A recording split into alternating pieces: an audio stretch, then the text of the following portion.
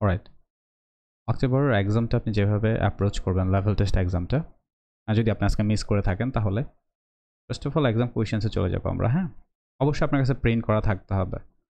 আর লিসেনিংটা print না করলেও problem নেই ইটস ওকে বাট রিডিংটা অবশ্যই প্রিন্ট করবেন। প্রিন্ট করার আগে দেখবেন যে একাডেমিক নাকি জেনারেল যদি একাডেমিক হন আপনি, তাহলে একাডেমিকটা প্রিন্ট করবেন, যদি জেনারেল হন জেনারেলটা প্রিন্ট করবেন। বাট লিসেনিংটা যদি প্রিন্ট করেন, সেখান থেকে কিন্তু আপনি বেনিফিটেড হবেন বাট প্রিন্ট না করলেও আপনি দিতে পারবেন। সাপোজ আমি ধরে নিলাম যে আপনার কাছে এখন সবগুলোর আপনার রিডিং এবং লিসেনিংয়ের প্রিন্টেড কপি আছে। প্রথম আপনি লিসেনিং টেস্টটা অ্যাপ্রোচ করবেন মানে আপনি লিসেনিং টেস্টটা দিবেন প্রথমে। লিসেনিং টেস্টটা দেওয়ার জন্য কী করবেন? এই যে দেখেন, এখানে ইউটিউবের লিঙ্কটা দেওয়া আছে। মানে ভিডিওটা ইউটিউবে আপলোড করা আছে। সো আপনি লিঙ্কটা কপি করবেন, অথবা ফোন থেকে প্রেস করলে আসলে চলে যাবে। পরে আপনি এখানে চলে এসে টেস্ট করলে এটা চলে আসবে। এরপর আপনি অন করে আপনি listening test as usual listening test দেওয়া শুরু করবেন। ঠিক আছে? এটা রান করবে। লিসেনিং টেস্ট স্টার্ট হবে। আপনি লিসেনিং টেস্টটা দেওয়া শুরু করবেন। অলরাইট ডান লিসেনিং টেস্ট শেষ করে ফেলবেন। অ্যান্সারগুলো খাতায় লিখবেন আপনার। এরপরে সাবমিশনের ব্যাপারটা পরে। লিসেনিং টেস্ট শেষ। আপনি রিডিং টেস্টটা দেওয়া শুরু করবেন। আপনার প্রিন্টেড কপিটা বের করবেন, ঘড়ি নেবেন, এক ঘণ্টার সময় আপনি পরীক্ষাটা দিবেন। এক ঘণ্টা থেকে বেশি সময় নেবেন না। যদি নিতে চান তাহলে ম্যাক্সিমাম পাঁচ থেকে আট মিনিট বা ম্যাক্সিমাম দশ মিনিটের থেকে বেশি সময় নেবেন না। আপনি একাডেমিক হন আর জেনারেল হন। রিডিং টেস্ট আপনি দিয়ে ফেললেন, খাতায় অ্যান্সারগুলো লিখলেন। এরপর আপনি আপনার রাইটিং পরীক্ষাটা দিবেন। রাইটিং শুধু টাস্ক টু তো রাইটিংয়ের জন্য চল্লিশ মিনিট আর ফর্টি মিনিটসের একটা টাইম আপনাদের এখানে দেওয়া আছে। সো ফর্টি মিনিটসই টাইম নেবেন। এরপরে যদি সময় দরকার হয় কিছুটা ফাইভ মিনিট এইট মিনিট নেবেন। বাট রিকমেন্ডেশন ফর্টি মিনিটের বেশি নেওয়ার দরকার নেই, যতটুকু লিখতে পারেন। একটা আইডিয়া হলো যে আপনি কতটুকু লিখতে পারেন। এখন আপনার কি হলো? আপনার রিডিং টেস্টটা ডান প্রথমে আপনার লিসেনিং টেস্টটা ডান আপনার রিডিং টেস্টটা ডান এখন আপনার রাইটিংটাও ডান এখন হচ্ছে সাবমিশনের পালা। আচ্ছা এখন সাবমিশন করার জন্য সাবমিশন করার জন্য আপনাদেরকে আমি এটা এখনও সেন্ড করিনি, এখনই সেন্ড করছি।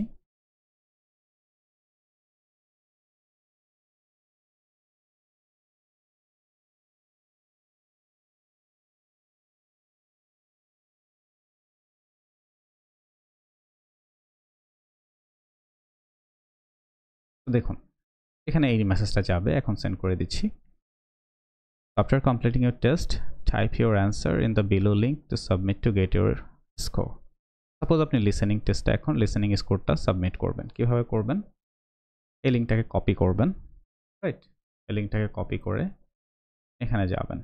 যে কোনো আপনার একটা ব্রাউজারে যাবেন। এখানে গিয়ে আপনি এই লিঙ্কটা পেস্ট করবেন। রাইট আচ্ছা এখন পেস্ট করলে দেখুন, এখানে ক্লিক হেয়ার টু স্টার্ট এখানে যদি আপনার লগ না করা থাকে সাপোজ আপনার রেজিস্ট্রেশন করা নেই, তাহলে আপনি ফ্রি একটা রেজিস্ট্রেশন করে নেবেন, করে আবার সেম লিঙ্কে আবার আসবেন। সাপোজ আপনার রেজিস্ট্রেশন করা নেই, ঠিক আছে, তখন ওরা বলবে যে এখানে রেজিস্টার করার জন্য। তখন আপনি রেজিস্ট্রেশন করবেন ফাইভ মিনিটসের মতো টাইম লাগবে রেজিস্ট্রেশন করে ফেলবেন। করে এখানে আবার সেম লিঙ্ক ওখান ডিসকোডে গিয়ে এখান থেকে এই লিঙ্কটা লিসেনিংয়ের জন্য লিঙ্কটা কপি করে এখানে ক্লিক হেয়ার দিয়ে আপনার এগুলো কিছু শোনার দরকার নেই আসলে। কারণ আপনি তো অলরেডি শুনে অ্যান্সার করেছেন।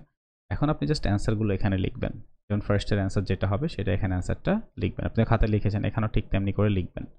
তাহলে ওয়ান টু থ্রি থেকে শুরু করে একদম যেমন এইট এবং টেন রাইট এইট থেকে টেন তো এইট থেকে টেনের জন্য আপনি ধরেন আপনার অ্যান্সার যদি এ বা বি হয়, আপনি এ বা বি সাবমিট করবেন। এরকম, যার যেটা। এরপরে করার পরে আপনি দশ শেষের পরে এগারো থেকে পনেরো, ছোটো করে ফেলি। এগারো থেকে পনেরো আপনি অ্যান্সারগুলো করবেন। যেমন এগারো নম্বর অ্যান্সার যদি এ বি সি হয়, আপনি সিলেক্ট করবেন এখানে। এ বি নাকি সি বারো সিলেক্ট করবেন এ বি সি এভাবে সবগুলো সিলেক্ট করবেন। ম্যাপসে আপনি তো অ্যান্সার করেছেন। সিক্সটিন অ্যান্সার কি? A B C D F G select করবেন। এভাবে সবগুলো সিলেক্ট করবেন। টোয়েন্টি শেষ। টোয়েন্টি ওয়ান থেকে twenty three same twenty one answer A B C D এভাবে। Twenty twenty two twenty three এরপরে আপনার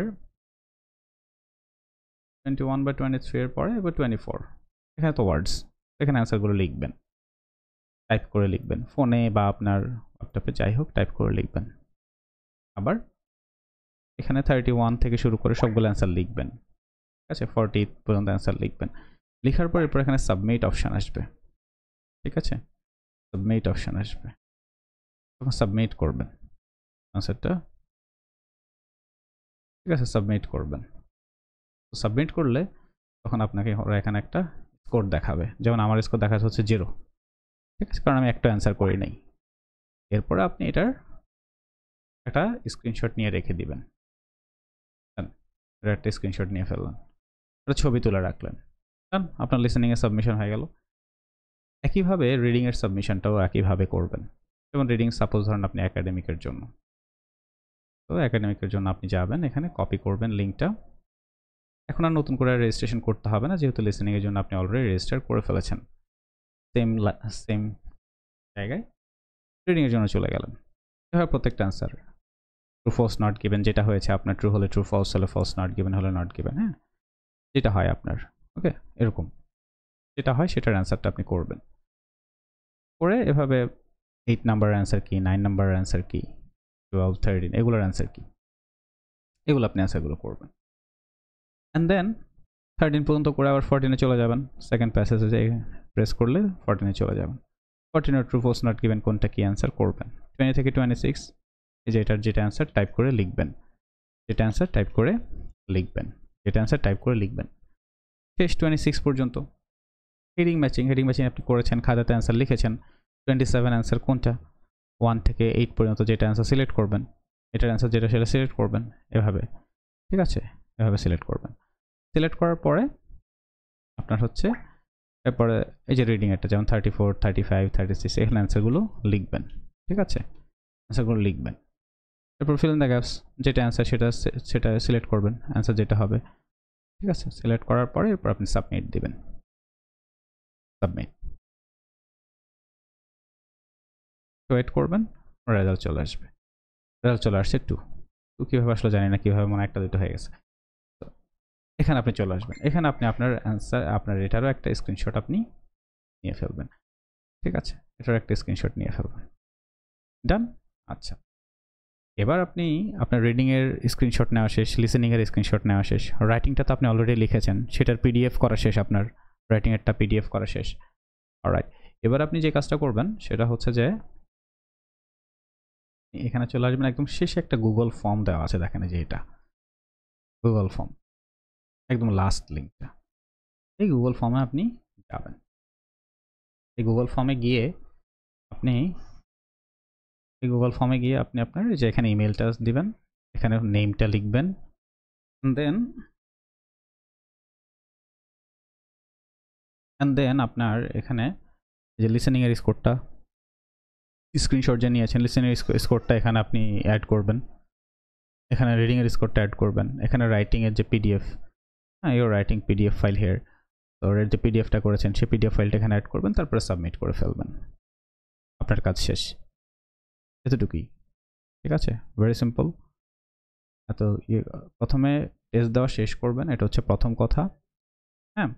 লিসেনিংয়ের টেস্ট দেওয়া শেষ করবেন, এখান থেকে রিডিংয়ের শেষ টেস্ট দেওয়া শেষ করবেন, এখান থেকে বা প্রিন্ট করেছেন সেখান থেকে।